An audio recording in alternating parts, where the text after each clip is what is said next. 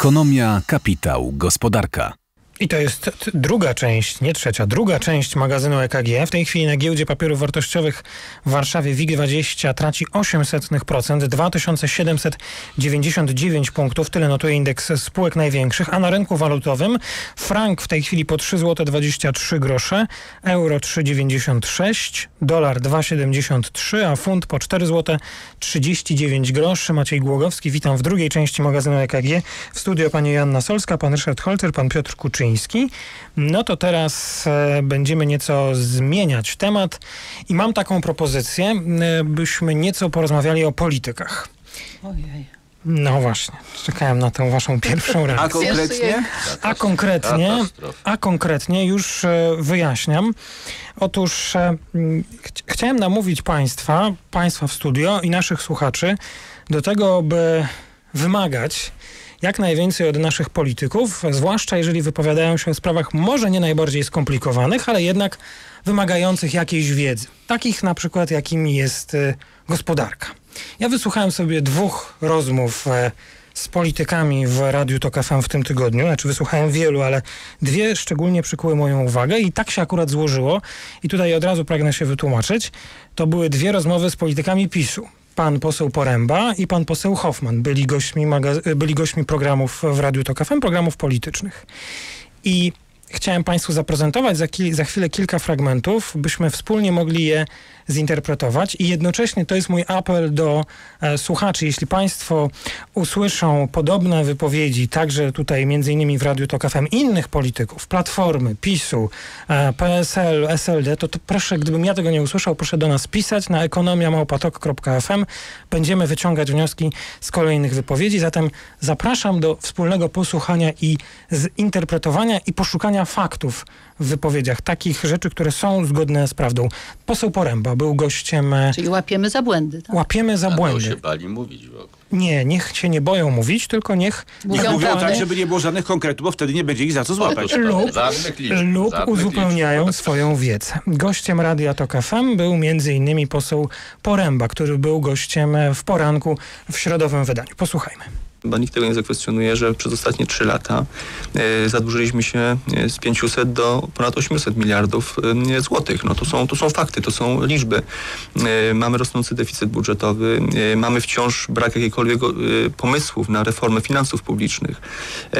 Mam, rośnie inflacja, rośnie bezrobocie. Wie pan, ja nie chciałbym tutaj uderzać w dramatyczne tony, ale uważam, że jest to czas, aby podjąć i był czas już jakiś czas temu, aby podjąć takie działania, które em, ograniczyłyby zadłużenia, zadłużenie się e, Polski, e, a jednak tych działań po prostu nie, e, nie ma. Zresztą komisarz do spraw budżetu Unii Europejskiej wielokrotnie dopominał się o plan reformy finansów Polski od pana ministra Rostowskiego, ale tego planu nie otrzymał, więc No otrzymał, otrzymał. No i teraz Otrzymał. zga- zgaduj zgadula, co się nie zgadza z prawdą. No, plan otrzymał. Bardzo ogólny, ale otrzymał, tak. Inflacja nie, znaczy ta, Trochę kręcił bezro, nosem. bezrobocie nie rośnie, tylko spada, ostatnio przynajmniej.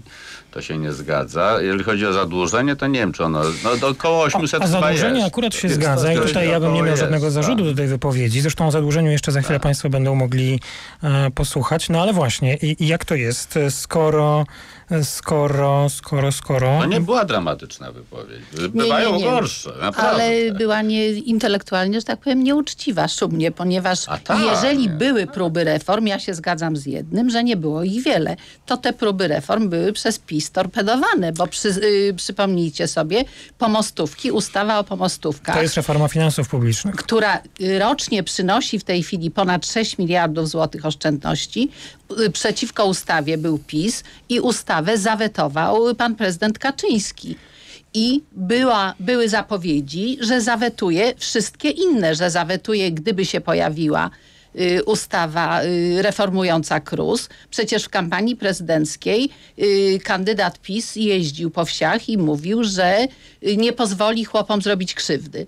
Więc obiecuję status quo, że nic nie zostanie zmienione. Przykładów reform, które mogłyby być podjęte, gdyby opozycja je poparła, jest mnóstwo. No ale tak, ale ja rozumiem, że pan redaktor przedstawiał tą wypowiedź nie w takim kierunku, o którym pani redaktor mówi z kolei, czyli że, że można było zrobić więcej, jest to nieuczciwe, bo to zawsze jest nieuczciwe. Zawsze opozycja będzie przechylała na swoją stronę, będzie udawała, że nie przeszkadzała. No, ale jak głosowali przeciw, cudów to niech ma. pamiętają. Ale chodzi o fakty. No, no, no, Fakty fa- są takie, że fakty to nie rośnie bezrobocie Tak. i nie jest prawdą, że plan do Komisji Europejskiej nie został No wysłany. tak. No, fakty też są takie, że inflacja, o której mówi, to jakby bardzo pośrednio tylko można za to winić e, rząd. Na dodatek, o ile dobrze pamiętam, profesor Kaźmierczak, czyli kandydat PiSu, głosował e, w zasadzie e, przeciwko zwiększeniom e, Do Rady Polityki Pieniężnej. Do Rady Polityki Znaczy w Pieniężnej, tak. ostatnim czasie za przeciwko podwyżkom stóp procentowych, które miałyby w przyszłości inflację obniżać, głosowała tylko pani profesor Hojna-Duch, nominowana z, przez Polskie Stronnictwo Ludowe,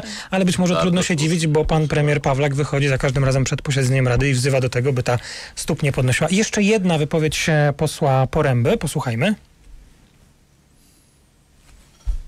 Lekcja Grecji jest nauczką dla Unii Europejskiej, jest też nauczką dla Polski. E, Ja przypomnę, że e, kiedy dwa lata temu e, Donald Tusk prezentował tą słynną mapę krajów, których nie dotknął kryzys, niech pan redaktor zgadnie, była Polska zieloną wyspą, tak? A jaka była jeszcze, jaki był kraj zaznaczony na zielono na tej mapie?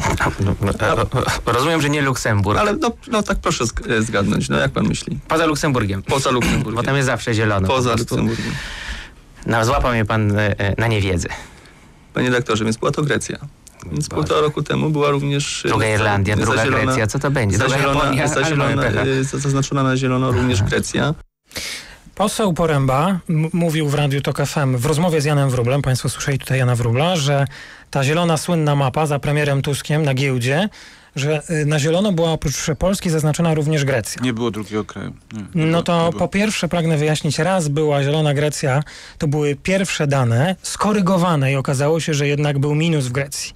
I potem już Zielonej Wyspy drugiej nie było. No, ale to coś było, no pierwsze dane były takie. Na podstawie danych ale- Eurostatu, jak ale- rozumiem, Pan poseł widział pierwsze Ale dane. należałoby tak dodać, bo pan poseł Poręba mówił półtora roku temu, że w roku 2009 PKB Grecji spadło 2%, a w roku 2010 o 4,5%.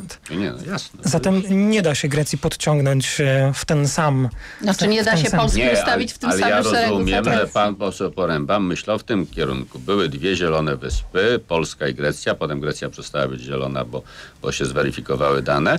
A y, wynik jest taki, że te dwie zielone wyspy, jedna z tych zielonych wysp poszła drogą, o której pan redaktor mówił, czyli spadków PKB i drugą to też czeka. To ten kierunek. Czyli cała wiedza pana posła wzięła się z kierunek. jednorazowego obejrzenia błędnie O, przygotowanej mapy, tak tak? jest. I wysnucia wniosku z tego, że jak ktoś było zielone, to teraz będzie bardzo czerwone.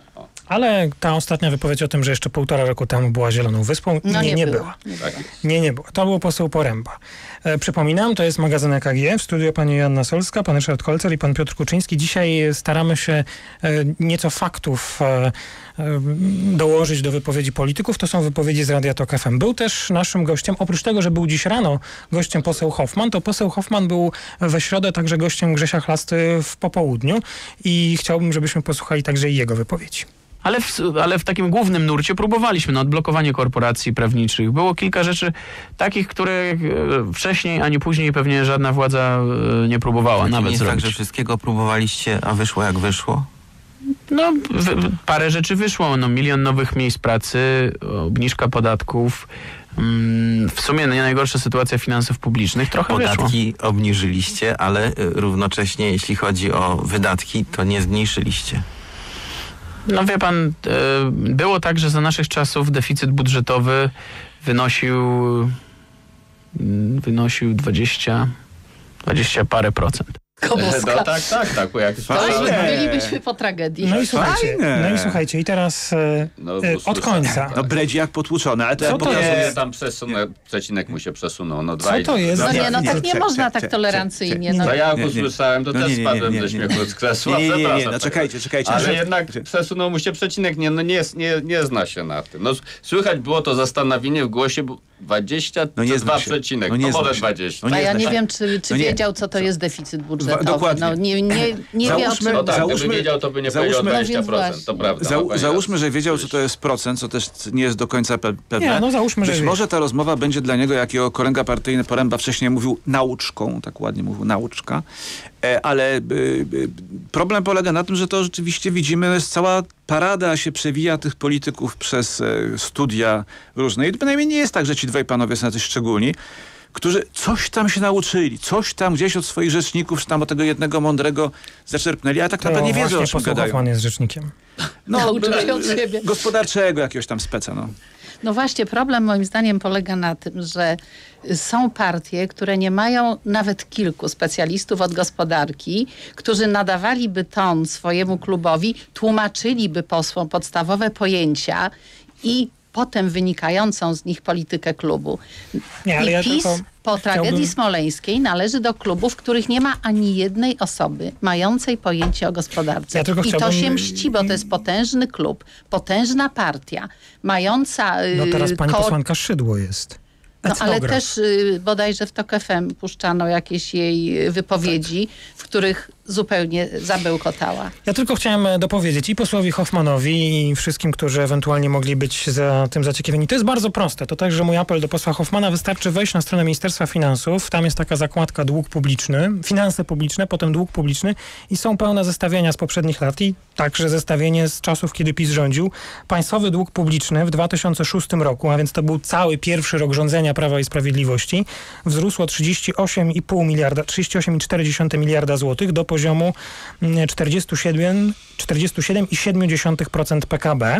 Wzrost gospodarczy wtedy wynosił 6,1. W 2007 państwowy dług publiczny wzrósł o 21 miliardów, e, co stanowiło 45,2% PKB i to jest spadek o 2,6 punktu.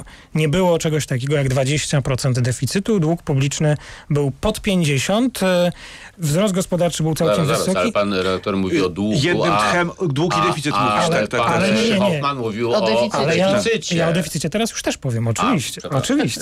Dobrze. A dług sektora instytucji rządowych i samorządowych e, wzrósł w 2006 roku o 42 miliardy 400 milionów złotych, co stanowiło 47,8% PKB. Tak było w 2006 roku. I oczywiście mm, możemy tylko powiedzieć, że prawdą jest to, co wcześniej się pojawiło, że za czasów rządów Platformy ten dług publiczny, a także deficyt rosły w znaczącym stopniu także, ale... obniżkę podatków, którą zadekretowano zarządów y, PiSu, A Samoobrony a i LPR, Platforma a Platforma ją poparła, skutki tej podwyżki wyszły dopiero zarządów Platformy i się zderzyły dwie wielkie rzeczy, że ogromny spadek wpływu, wpływów podatkowych raz z obniżki podatków wynikające, dwa ze spowolnienia gospodarczego i ogromny zadekretowany przez rząd PiS wzrost wydatków. Ja przypomnę, że to był okres koniunktury, kiedy wzrost był ponad 6%, a rządy i Sejm zadekretował wzrost wydatków 12%. To tak nie ma, żeby to się składało. Tak jest. No to nie, no oczywiście, że jeżeli chodzi o, o obniżenie podatków y, i, i podwyższenie wydatków, no to to rząd PiS zrobił dramatyczną rzecz, która się potem odbiła i opowieści, bo PO też głosowało za tym obniżeniem podatków, ta i samo wprowadziła część obniżki s- składki rentowej, co było oczywiście błędem i teraz nikt nie chce się do tego błędu przyznać i się opowiada, że te 40 czy tam 35 miliardów złotych to obroniło Polskę przed kryzysem, co prawdą w dużym stopniu nie jest. I na koniec jeszcze jedno wyjaśnienie, o czym mówił poseł Hoffman. Zarządów Prawa i Sprawiedliwości o milion e, zmniejszyło się bezrobocie. Rzeczywiście w październiku 2005 roku liczba bezrobotnych zarejestrowanych wynosiła 2 miliony 712 tysięcy, a we wrześniu 2007 to był milion 777 tysięcy. Tyle tylko, że to właśnie był ten czas najwyższej koniunktury. e, i- Najwyższych wyjazdów na zachód. I Światowej, najwyższych światowej wyjazdów. koniunktury, tak? Podkreślmy. To nie tak, że cud, To zrobił ten rządu. rząd, tak? Znaczy to Tak. była światowa koniunktura niesłychana, która została w znacznym w znacznej mierze przespana przez e, ówczesne Tak, rząd, bo dwa można rządy było właściwie. robić wtedy reformy. To na koniec jeszcze puenta, bo poseł Hoffman był także gościem poranka Radio Tok FM dziś u Jacka Żakowskiego i niech ta wypowiedź będzie puentą naszej dyskusji.